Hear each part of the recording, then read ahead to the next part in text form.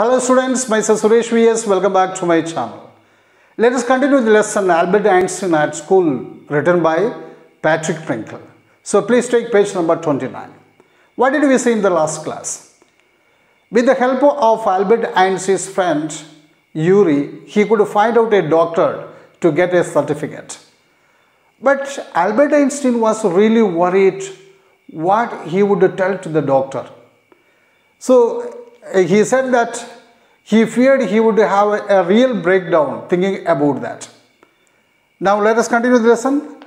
When he saw the doctor, this was his first sentence. What did he say? I don't really know how to describe my trouble. I don't know how to describe my trouble, how to describe my problem to you, Dr. Weil. Then what did the doctor say? Don't try. No need to try. Because your friend Yuri has already given me the history. He has given me the details about your problem, about the case. Oh, he was really surprised. What did he say? Only that you want me to think you have had a nervous breakdown and say that you must not go back to that school. He told that you have a, I have to think that you have a, yes, a mental disorder and uh, you did not want to go to that school. Oh dear, Albert's face fell. And you see that he was really disappointed. He became uh, really sad. Why? Because he thought that the doctor was not going to uh, give the certificate to him. He should not have told you that. So why did he tell? He should not have told all these things to you. Why not? Isn't it true then? Why not? Whatever he said, uh, whether they were true or not, weren't uh, all these things true? Yes, that is a trouble. Yes, that is my problem. Now you will say there is nothing wrong with me and you will tell me to go back to school. Albert Einstein was really frightened because the doctor will tell him to, yes, go back to school as he uh, did not have any problem. You will tell that I don't have any problem. You just go back to the school. You are going to tell that I know. Don't be too sure of that. Hey, don't be too sure of that. Why? Because as a matter of fact, I am pretty sure you are in a nervous state about that school. As a matter of fact, that means really, I understood that you have some mental disorder while going to that school. That I understand. Already I understood it. But I have told you about anything about it, but I didn't tell you anything such matters to you before. And you see that Albert's eyes it became wide opened. How can you know that? Then how did you come to know about all these things? Because you wouldn't have come to see me about this if you hadn't uh, been pretty close to a nervous breakdown. That is why, yes, I can tell that. You have a problem of going to that school. You have a problem of going to that school and you have a mental disorder or nervous breakdown. Otherwise, you should not have come to visit me. Yes, come to meet me. Otherwise, you should not have come. Yes, come to my, come for my suggestion, come for my certificate. So I can tell that you have the problem. Yes. Said the doctor briskly. Briskly means suddenly. If I certify that you have had a nervous breakdown and you must stay away from school for a while, what will you do? So the doctor has a doubt now. Suppose I give a certificate that you have a nervous breakdown and you have to remain at home or remain away from school for a while. What are you going to do? Immediately he said that he was going to Italy, yes, where to Milan, where his parents were. So he, is, he immediately yes, said that he would leave the place and go to, yes, his country, Italy and where his parents uh, were there. And so what will you do there? And what are you going to do there? I will try to get into an Italian college or institute. That is his plan. So he would join in an Italian college or an institute there. How can you without a diploma? So without a diploma, how is it possible? How can you get admission in a college or a, an institute there? So for that also, Albert Einstein has an option or he has an uh, idea. So what did he say? he will get, he will approach his mathematics teacher and he will give something in written as a reference, okay, about his work. And according to him, that is enough to get admission in this college. I have learnt all the maths and you see that whatever he was taught in the school that he had learnt. So he was sure about it that his uh, math teacher was going to give a reference. Okay, so with the help of that, uh, he could get admission in a college or a, an institute. Okay, well, it is up to you. Anyhow, it is up to you. You can decide. But I doubt if it will come off. But the doctor had the doubt whether it would be possible to get admission, yes, in a college or an institute with that. But I can see you are not going doing yourself or anyone else much good by staying here. But I can say one thing, I am sure about one thing. I am certain about one thing that your stay in Munich and uh, your study in this school is not going to do any good to you, either to you or to anyone else. Okay, so it is better for you to leave the place. How long would you like me to say you should stay away from school? So he is ready to give a medical certificate and he asked the, so for how many, yes, uh, for how long he wanted this uh, medical certificate. That means for uh, one month or two months or uh, five months. Would six months be alright? So ask the uh, whether six months that would be sufficient. This is very kind of you. Albert became very happy. Oh, so doctor, you are so kind. It's very kind of you. It's nothing. I have only just stopped being a student myself. So I know how you feel. Here you are. So the doctor said, because I was a student, okay, I was a student and I stopped my student's life uh, uh, recently. So I know about a student and his problem. And Dr. Weil handed him the certificate, okay, I know how do you feel and uh, telling that he wrote and gave the certificate to Albert Einstein and uh, yes, said best of luck. How much? Then he asked how much? So he wanted to give the fees. Nothing, if you have anything to spare, invite Yuri to a meal. And if you have money, if you have anything to spare, no need to give fees to me. You just invite my friend Yuri for a meal. Okay? He is a good friend of mine and yours too, I think. Yuri is my good friend. I think he is uh, your friend too. Albert had no money to spare. Actually, Albert did not have extra money to spend. But even then, what did he do? He pretended, he acted that he had money and uh, yes, he had taken Yuri for yes, a meal or for yes, a supper. Isn't wonderful? He said after showing Yuri the certificate. Showing the certificate to Yuri, I asked, Don't you see that? It's wonderful. I got the certificate. Yes, it is fine. Yuri agreed. Yes, very good. Six months is a good period. Yeah, six months. It's a very good period. Why? Because and this way you can actually take leave from the school so that if the worst comes to the worst, you will be able to come back and carry on your diploma. If the worst happens, then a six months period, that's a good time for you. And uh, during this time, you can find, uh, yes, uh, you can do or find out uh, other colleges. Okay, you can join in other colleges. Suppose you could not uh, pursue your studies there. So you can come back and uh, continue your studies here. That's a good thing. That means in case things went wrong, in case the things went wrong, that case only, you can come back and continue the studies. I will never go back to that place. Albert Einstein, he hates the place, that school such a way. So he said, I will never, yes, go back to that place. I am going to take this certificate to the head teacher tomorrow and that will be the end of it. You see, tomorrow I am going to take this uh, certificate to the headmaster, head teacher and uh, yes, with that everything going to an end. Okay, that would be the end of my studies too. Don't forget to get a reference in writing from your mathematics teacher. First, Yuri reminded. Then Yuri reminded.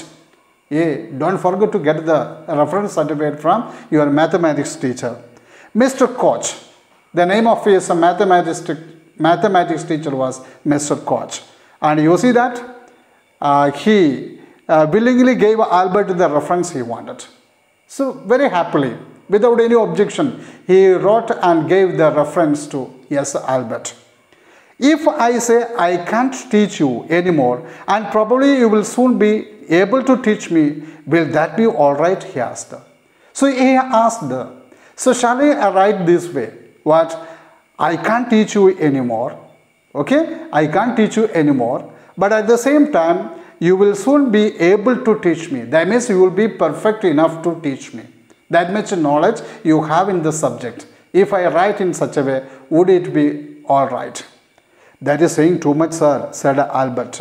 So Albert, uh, uh, you see that very respectfully he said, uh, okay, uh, that is telling something too much, sir. That is more, sir. It is uh, only the truth. But it's only the truth. It's only the fact. I will put it more seriously. I will write it some little more seriously. Otherwise, the people will take it. Uh, yes, it will not take it as serious one. Okay, consider as a serious one it would be taken as a fun. So it was still a glowing reference. Glowing means a praiseworthy. But even then you see that his reference was really a praiseworthy one.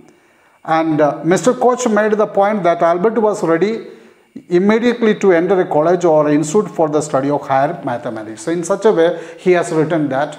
So he is perfect in maths and uh, immediately he is eligible to enter for his uh, higher studies where higher studies in math subject in an institute or a college. In such a way he has written. I am sure you are living as although you are wasting your time in my class, he said. Then he, he said, I am sure, I am very sorry. I, I feel really sorry that you are leaving us. And uh, I know you are really wasting, yes, your time in my class. It's almost the only class where I am not wasting my time, said Albert. But how did you know I am leaving, sir? Sir, but don't tell like that. It was the only one class I enjoyed. I was uh, really using my time. Okay. But how did you come to know that I am leaving the school? Okay. I was not wasting your class. You wouldn't have asked me for this reference otherwise. It's simple. You have come and asked for this reference. That means you are leaving, going to leave the school. From that I came to know. I thought you would wonder I thought you would be surprised. He did not complete the sentence. There is nothing to wonder about Einstein. I know you were going to leave before you know yourself. There is nothing to, uh, there is nothing as a factor, as a, as a factor of surprise. Yes, Einstein, uh, before you came to know, yes, I knew that you are going to uh, leave. I knew you were going to leave I knew that you were going to leave before you come to know about that. Albert was puzzled. Yes, Albert was really puzzled. He was really in confusion. What the teacher was telling. What did the teacher mean? He soon found out before he had a chance to ask for an interview with the head teacher. He was summoned to the head's room. So he was about to go to the yes head's head teacher's room in order to show the certificate and leave the school. But before that, you see that he was called. The head teacher sent somebody to call Albert Einstein, Einstein to his office. Well, it saves me the trouble of having to wait an hour or two outside, he thought. So what did he think? Oh, it's nice because I need not to wait there for one or two hours to meet him now. I can go and meet him uh, directly. He hardly bothered to wonder why he had been sent for, but Vaguely suppose he was to be punished again for bad work and laziness. When he was called to his office, he did not think much about this. Why he was called? Why was he called there? But he was sure that he would have been called to give some punishment as an extra work, okay, or any punishment for his bad work as well as uh, his lack of interest in his studies. He would get some punishment. And uh, uh, he might have called him for that. He had finished with the punishments, but he thought, this is the end. Now all the punishments are going to end here. I am not going to punish you, the head teacher said to Albert's surprise. Your work is terrible and I am not prepared to have you here any longer. Einstein, I want you to leave the school now. So when Albert Einstein went to him, he said immediately, hey, Albert Einstein, I am not going to punish you. Uh, you see that I am not at all satisfied with your studies and your work here. So you have to leave the uh, school now. And uh, Uh, leave school now, repeated Albert dazed. Albert was really surprised, wondered, Leave the school now. That is what I said. Yes, that is what I said. You mean, said Albert, that I am to be expelled? That means I am expelled from the school. I am to be dismissed, okay, or turned out from the school. You can take it that way if you wish, Einstein. You can take it in any way, but you have to leave the school. The head teacher was not mincing words. What mincing words means? He was speaking directly. Okay, was not speaking indirectly. That means he was speaking directly the fact. The simplest thing will be for your uh, you to go off your own accord and then the question won't arise. So I will tell you one thing. What will be the simplest thing? You go in your own way. So no need to uh, uh, be expelled from the school. Nobody will tell that you have been expelled from the school. So better you go from the school in your own. But said Albert, what crime have I committed? Please sir, tell me the mistake. What crime have I committed? Your presence in the classroom makes it impossible for the teacher to teach and for the other pupils to learn. That's the problem. Your presence itself in the class makes a trouble to the teachers.